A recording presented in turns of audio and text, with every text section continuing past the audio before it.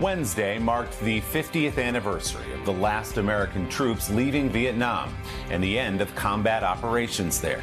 More than 58,000 Americans were killed in the Vietnam War, along with an estimated 3 million Vietnamese fighters and civilians.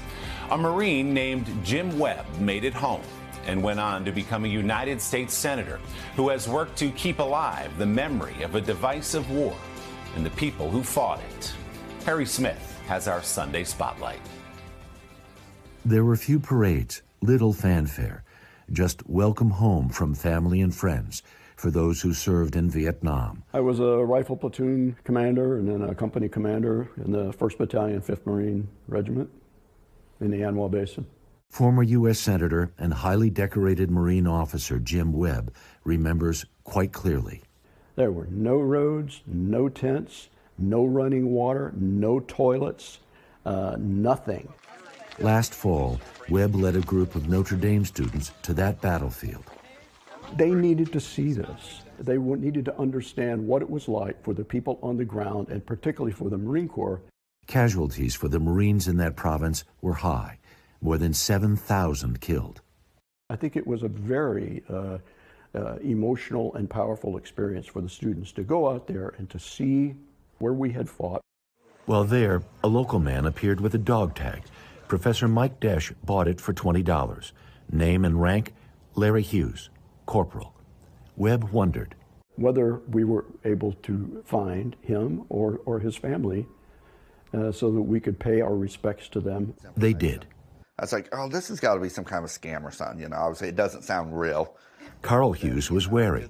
His Aunt Patricia broke down in tears. I just couldn't believe it. I said, Are you serious? And he's like, Yeah. And we just started crying. Was... It was so emotional. Mm-hmm. Corporal Larry Hughes was Carl's dad, Patricia Hughes, his sister.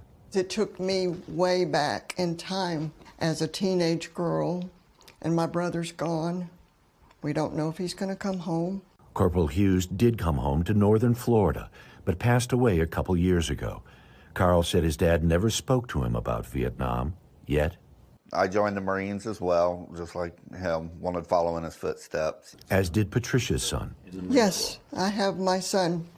My son served, he served in Iraq. I was in with a Marine Corps parents because we said we will never let our sons be treated like they treated the Vietnam mm, vets. Right. Patricia told us her brother would change out of his uniform when he came home to avoid the stares and hateful words of some civilians.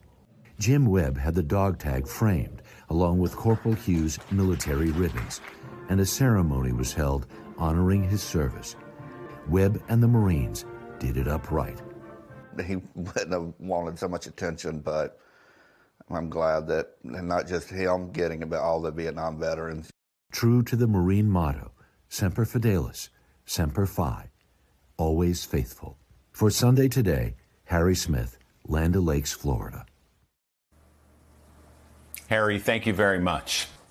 Hey, thanks for watching. Don't miss the Today Show every weekday at 11 a.m. Eastern, 8 Pacific on our streaming channel, Today All Day.